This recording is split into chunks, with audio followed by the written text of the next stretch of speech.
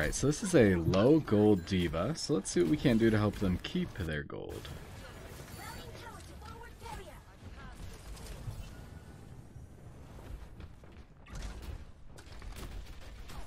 Okay. It's not shooter trap that's already destroyed. Be kind of our first step.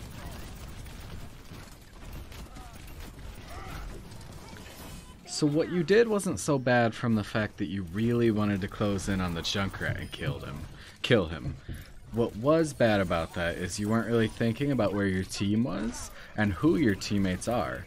McCree's gonna have a kind of hard time closing in. Reaper wasn't in position to close in. And so when you try and close in like that, you are gonna have a pretty rough time most of the time.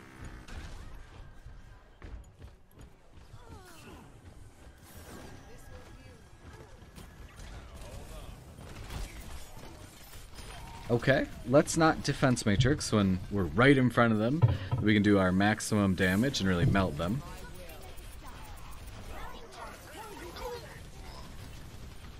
Okay, so do you kind of see how you're your only team's tank as far as I can tell, but you're kind of playing far back? You're kind of just playing like another DPS?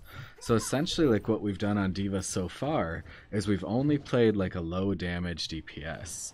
So at that point, Oh, you do have a Zarya. Okay. So at that point, it kind of makes me wonder, like, why why play tank if we're not going to create space for our team?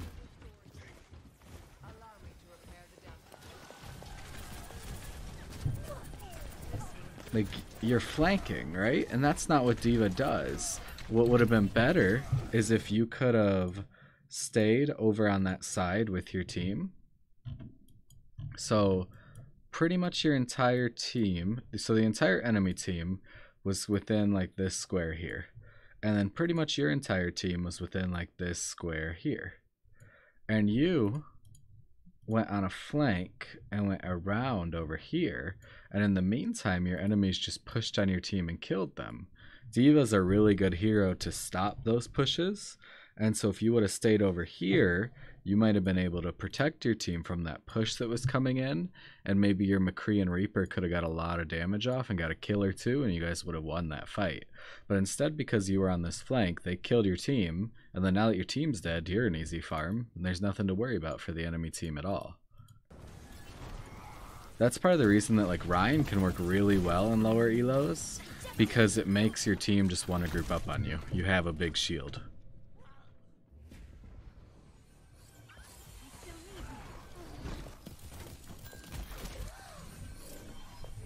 Nice job wanting to go behind cover to get your mech back, because I think you would have got farmed otherwise.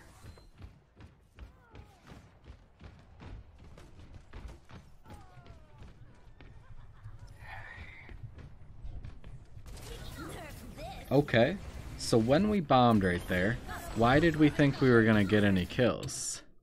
There was nothing pushing your enemies like your allies weren't here or anything like that so that there's nothing to stop them from just running over here and your moira is dead and so you're down one so even if you get one kill all you did was even it. So this bomb makes no sense. Not a bad angle to throw it in to kind of sneak it on point and stuff like that but just your timing of it makes absolutely no sense and if it got kills it was because your enemies just didn't even care about it the Rein could have literally just turned around and shielded the whole team. There would have been nothing to it. And now you're pushing while your team is still not in position and your Moira is dead still. Well, she respawned now, but she's not back yet. So I don't really get, you know, the thought process there. We bombed solo and then we pushed solo and our bomb got nothing and we got nothing.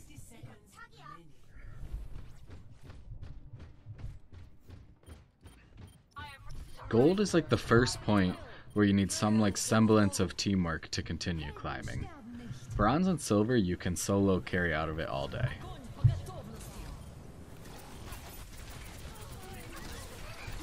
So maybe let's just run away. When we got to the fight, they had already gotten three kills.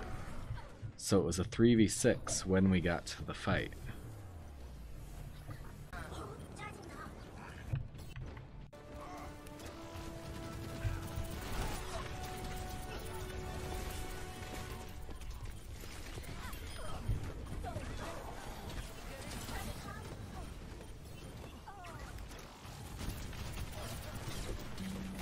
Okay.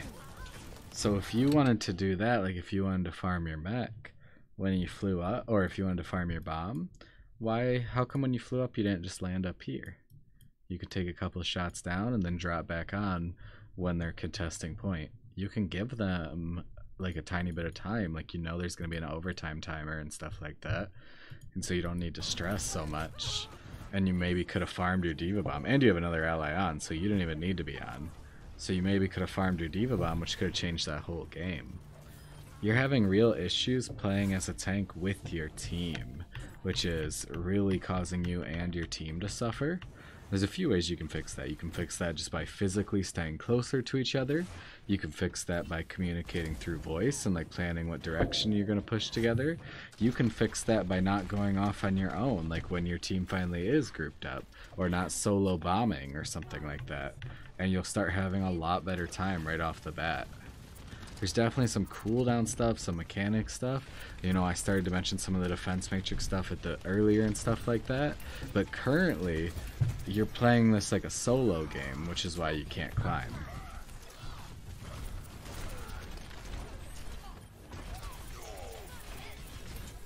And like right here was an example of kind of the defense matrix stuff, just so you know as you're climbing. This would not be what I would focus on right now because you have bigger things to worry about.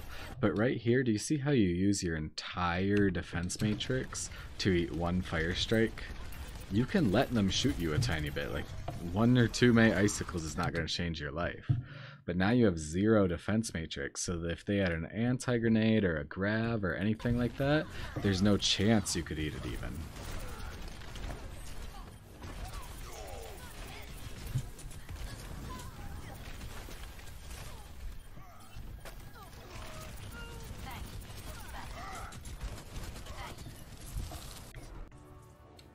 Definitely doesn't feel so good there.